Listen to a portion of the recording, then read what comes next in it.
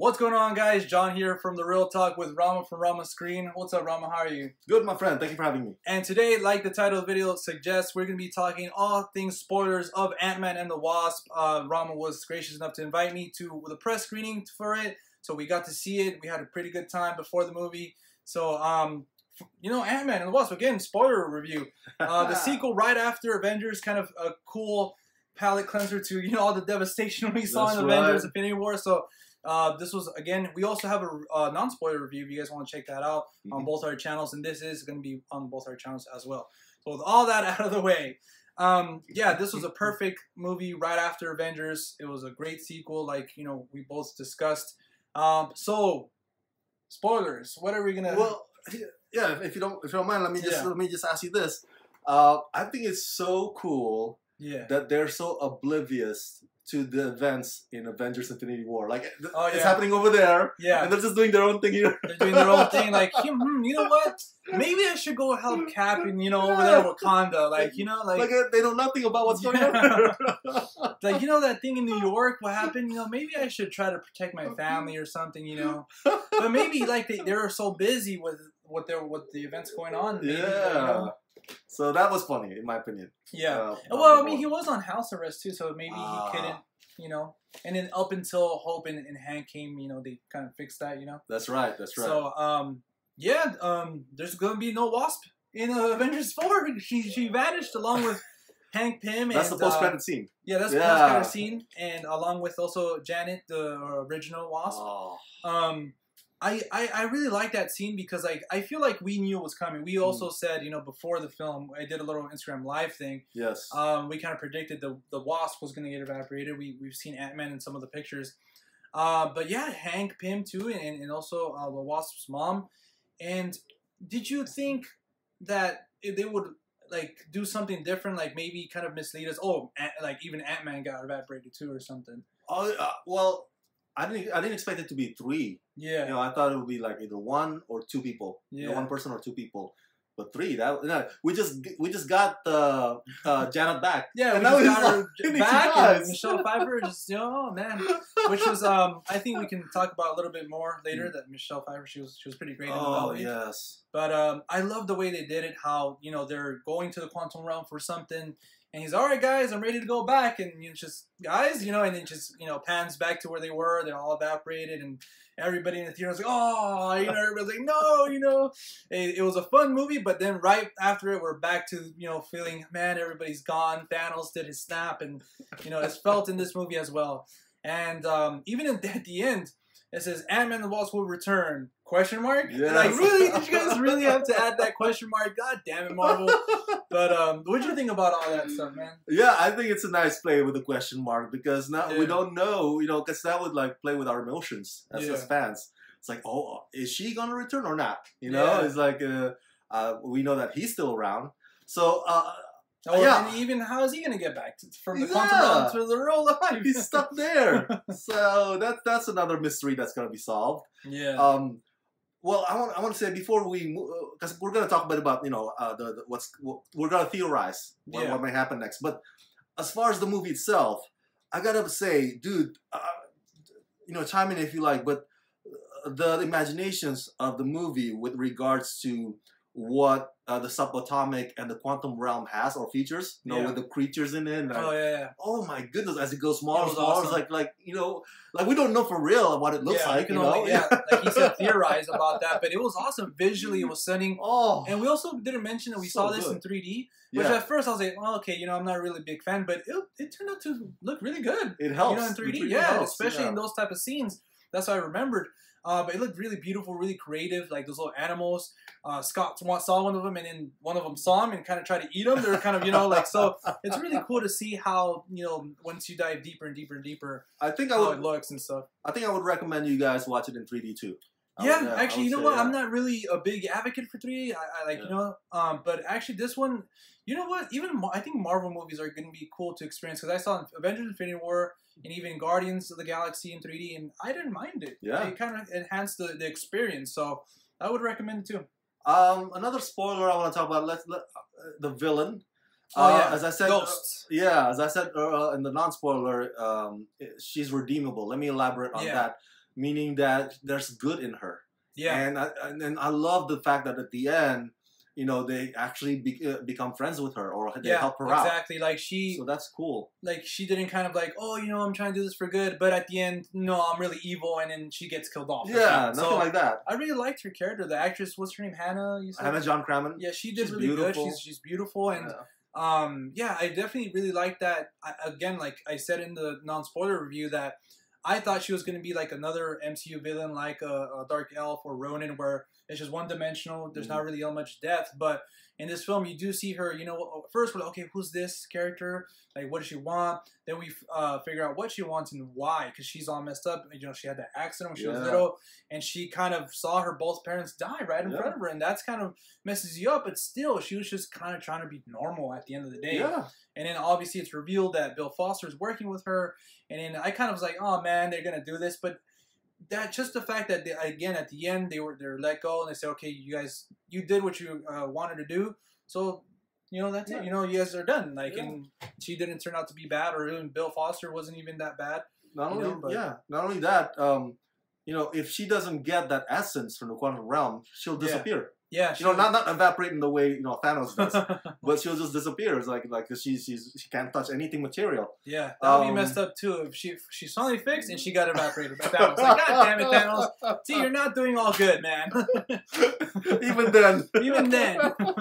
but also, um, uh, I want to bring this up now because Yeah. it, it is a spoiler. Uh, because we talked about the father-daughter uh, heartfelt drama. That's Yeah. also Bill Foster and Ghost. yeah, That that aspect, the father-daughter, he's a father figure to her, and so that's an, a third. You know, with Michael Douglas and Evangeline and then Paul Rudd and her his kid. So yeah. there's third father-daughter thing, and that was pretty cool to me. That approach. Yeah, you could you can see that you know along the way, like he he's he knew what happened to her, so he wanted Yeah. to help her, and then obviously I don't know if she, he has kids, but Mm. also her too. You kind of see her kind of maybe listen to him because he kind of controls her. Like, okay, you know what, this is not what we do. She wanted Yeah. to kidnap the daughter, but he's like, you know what, we can't do this. yeah. You know, this is not what we do. So if you do that, I'm not gonna be able to help you. So yeah, yeah, he wants to retain her humanity. Like, you exactly. got- so that's a really cool cross the line. dynamic. Yeah. You know, I don't think we've ever seen that in a Marvel, like a No. villain. You know, so I think that was really cool. I really liked Ghost. Now thinking about it, even Bill, the uh, Goliath, you Yeah. know, from the comics. Comics. Um, Bill Foster was her voice of reason, was her Yeah. conscience, and we never seen that before. yeah, we never really seen Yeah. that, so that was really So cool. It's like like a Geppetto, you know? Yeah. Pinocchio. Yeah, from Pinocchio. it's like don't do that. Yeah. don't lie. Yeah. so uh, that's that's my villain spoiler. Uh, uh, Yeah. What, what else do- can we bring up? Uh, yeah. Also, we didn't really talk about you know uh, Janet Van Dyne, Yes, the mother of, of. Hope, and and you know um, they kind of at the beginning. Also, the beginning, great effects on Michael Douglas and Michelle Pfeiffer. They look uh, new. They look you know 20 years younger, 25 years younger, and that, that was incredible. The same effect they did for Robert Downey Jr., right? Yeah, and And, even uh, in the first Ant Man yeah. too with Michael Douglas again. That's Um, right. So it was really cool to, to see that, and uh, Michelle Pfeiffer did really good in the in this movie. You know, she wasn't like a weak link or anything. Um, but yeah, it was cool to see. You know, the whole movie. Okay, man, are they gonna be able to get her back? And they obviously they did, and they have an emotional uh, moment with Hope and stuff. So that was really cool. And um, My do only anything? my say? only thing is that she, she's barely in there. Yeah, she's kind of just. we barely see Michelle Pfeiffer. There. It's Yeah. only for like the last few minutes. last few minutes and in the begin- a little bit in the beginning. Yeah, in the beginning, yeah, that's right. So I was like, oh, for those of Michelle Pfeiffer fans out there, just don't don't keep your hopes up. Yeah. Like, oh, I'm gonna see her. No, no, just like we're only gonna see her for Just- you know, just- just a little bit, yeah. a little bit. but that's about it. I don't have any other objection. But she's fantastic. You know, she's a great actress. I, I love. I think she's perfect for the part, yeah. and uh, she has that motherly role too, not just to and uh, to Hope, but also to Ghost. There's that moment, you know. Oh when- yeah, where hugs she kind of like fixes her and stuff. So. Exactly. Well, that was very touching as well. That's gonna be interesting if that comes into play in the future because looks like like she was telling Hank like, oh, this place like evolved me because she Yeah. could still do that outside the quantum realm. So she has powers now. she has powers, you know, so that's Yeah. gonna be pretty cool. And also, obviously, before um she kind of got back to everybody, we have that kind of great moment with um Scott Lang where she kind of took over. And just as that she Paul Rudd is kind of you know playing with uh, Hank and stuff like that was just so hilarious. Just the way he Paul Rudd did an amazing job pulling that off, you know. And I thought they were gonna kiss. Michael Douglas and we're gonna kiss. Like, oh, I miss you so much, and you know.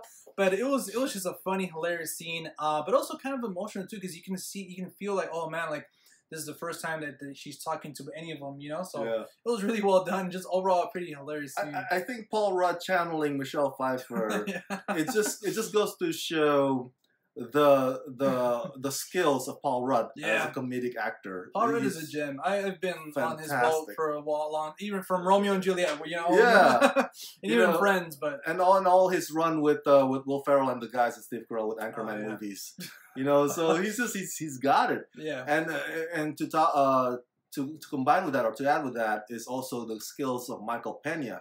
Oh, yeah. Movie. Oh, they really. Yeah. I'm glad that th- this movie gave him more screen time. yeah, they have a little bit more bigger role um, Yeah. in what to do, and, and even uh, the, the other two friends too. Like in the last part, they kind of you know have Yeah. something to play, but Michael Peña a little bit Oh. more. And they played on that same scene that they had in the first one, where he kind of, you know, he does the storytelling, the truth serum. That was hilarious. He's, oh, I, I guess it is a truth serum at the end. That was that was so hilarious. But uh, it was cool that they brought that back and they kind of amplified, like, okay, yeah, you guys like Michael Peña, then you're gonna get more of him, you know. So I really like that. He was he was great in this role. He, he's like Vince Vaughn. He talks really fast, but you can understand every word he says. yeah, I love it. Michael. Peña just gets like the pitches, man. The voice. yeah, And uh, you know, there's there, he's a show stealer in this movie. I want to yeah, definitely. Whenever he's on screen, like, okay, That's cool. it. Like, what is he gonna say this time? You know? I hope, I hope, but you know, just saying it out there to the universe. yeah, If if Marvel made a, a, a Luis, right? That's his name, right? Yeah, Luis Luis. merchandise or Luis action figure, I would totally buy that. yeah, definitely. Luis Funko. yeah, Luis, little little Luis Funko. so yeah, the comedy's amazing in this movie. Yeah, uh, really- everything from start to finish. The ant again, the Yes. drums. uh, and the, really the, cool. the way the movie um, plays on San Francisco streets, man. Because I've Oh, been, yeah. I, have gone to San Francisco many times. It's like, oh my god, it's San Francisco. It's the Lombard Lombard Street. You know, Yeah. like oh, That was really cool. It's- Yeah. They had that whole chase scene where she's like, "Oh, I'm gonna take this guy for a spin," and again, yes. man, like that was the action was just everything they did when the car's getting small and big, and even the wasp getting small and big, and the ant. It just and it was really Oh, good. and Ant Man uh, using the truck like a scooter. Oh yeah, he said, "All right, guys, Like don't worry, I'll be there." He's kind of like skating there because his little reactor was broken, and I thought it was genius. And even the, uh, I think it was broken um, early on too, and he was in the school. Yeah, He was a little kid, like, "Hey, you stop there!" and he just runs. and That that, was that- awesome. and that's smart on the writer's part to Yeah. have the, the broken thing because it adds to the like uh, uh, the the difficulties for Ant Man. Yeah, You exactly. know, so so he's not invincible. Yeah, It's like, oh my god, my suit keeps messing up on me. You Yeah, know, so it's like, awesome. oh, so and it the- also adds to that, and also the action and the comedy. so Yes, it it's adds just like a, a yeah. great, a great Because it little goes like this. device that he goes like this, he goes Yeah. like this, he goes like this. you don't know how you know. And then he got really big at the end, which was really cool. yes. Like really, really big. Wasp. Let's uh, I want, briefly before before we theorize on the, uh, what, what what's going to happen next. I want to say, you know, because a lot of you know, ever since Wonder Woman, you know, and this Me Too movement, you know, we want more and more women. Now Captain Marvel's coming up, more Oh, yeah. woman, woman empowerment, woman, and I think Evangeline Lilly does a good job Yeah, of carrying that torch yeah, um, definitely. of women empowerment in this movie. She was so badass. Oh. I, I loved every minute she was on screen. The action with her, Yes. she you can feel that she loves being the wasp and in this role. When she goes big in that car, she's oh hey guys, and she just starts kicking ass. Like it was just awesome. It was amazing. Give me a standalone wasp movie, like you know, like I don't, I don't And- care. And she's not a sidekick, you, you know. It's not Yeah, Ant-Man and the exactly. Wasp, yeah, like it's know. not. Oh, I need you to. There is a little thing of their, their partners, but it's not like a Batman and Robin. It's like it's No. sometimes even you can say, hey, it's more like the Wasp and Ant Man. You know? Yeah, yeah, you can So- even see that. Yeah, that's a good point. yeah, They're equal, and and there there'll be times when she needs him. There'll be times when he needs her. yeah, exactly. So it's it's just like, and, and it's not always smooth sailing. You Yeah. know, gonna look stumbles along the way, but they get it right as a team. Uh, Yeah, that's that's exactly. that's what's awesome about it. Great Uh, team. Oh, I can't wait to watch this again, man. No, yeah, I'm gonna go opening night again Thursday. Thank you again for inviting me. No that worries, was, bro. I had a great time, and I can't wait to see it again. Marvel, another one, man. They Yes. just keep knocking. DC, you guys gotta take notes, please. Take you guys have wonderful characters. I want to see you guys do good, so please just take notes, please. now, uh, so the theories, uh, Yeah. real quick. Um, we know that Captain Marvel and so Ant Man and Ronin, which is Hawkeye's other version, they're gonna be kind of leading the charge yeah, because they're they're still around. they're gonna be a little bit Yeah. more prominent. They're still they, they haven't evaporated. Yeah, I know that some people out there, the rumors is that Captain Marvel will be the new Captain America because Chris Evans' contract ended yeah, and he's not renewing it. He wants to move on. I don't know if you heard that. yeah. Um, so, and I think the same thing with Robert Downey Jr. So, you know Captain Marvel will be more prominent in the in the Phase Four. Uh, Kind that's of take that leadership role. exactly as opposed uh, in in place of RDJ and Chris Evans. Yeah. Um, so we'll see how it's gonna play out. And like you said, Ant Man is stuck down there in subatomic yeah. We'll see how he gets out of it, and Yeah. like obviously he's gonna be like, "What the heck just happened?" So he's gonna try to find the answers. And Finally there's a lot up. of theories too that it takes place five years after the events of, of Infinity War. So oh, where has everybody been? Like, what the heck's been going on?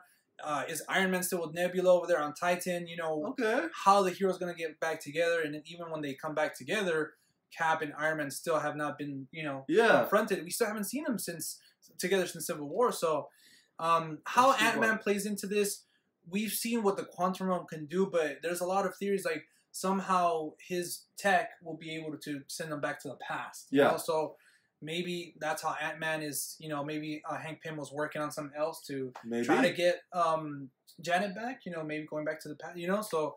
We'll see how Ant Man plays in, into the Now- into Infinity War. Now, correct me if I'm wrong, but the Infinity Gauntlet, the glove itself, is Yeah. destroyed, right? It's broken. It's it's In- in kind the of they. at the end, I, right? I've I've seen an interview with the directors. They said it, it is, but it's still functional. Like he can still use it. It's Oh, just can still snap. kind of like a price to because he kind of did a big you know thing. So it kind of you know kind of a price to pay for what he did. yeah. But it's still you know he can, still, do its work. it. Yeah. Wow. Okay. Okay. So so that's something to be you know paid attention to by by our heroes, Captain Yeah. Marvel and Ant Man.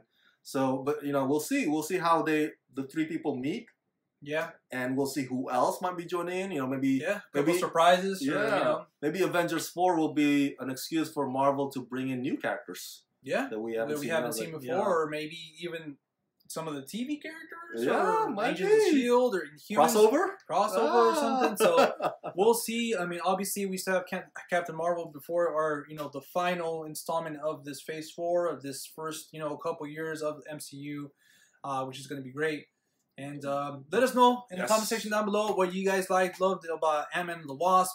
You guys agree with us, disagree with us? What are you guys looking forward to? How do you think it's going to connect to Captain Marvel or even um, Avengers 4? Um, and, yeah, sub- Ron, sub- I and subscribe to our channel. yeah, subscribe to us for more content like this. Both of us. I'm pretty sure this is not going to be the last collab between us. Yes. Uh, I love collabing with you, Rama. no uh, problem. so Thank yeah, you. if you guys like this, subscribe to see more. All right, let's rock this. Yeah, see you at the movies.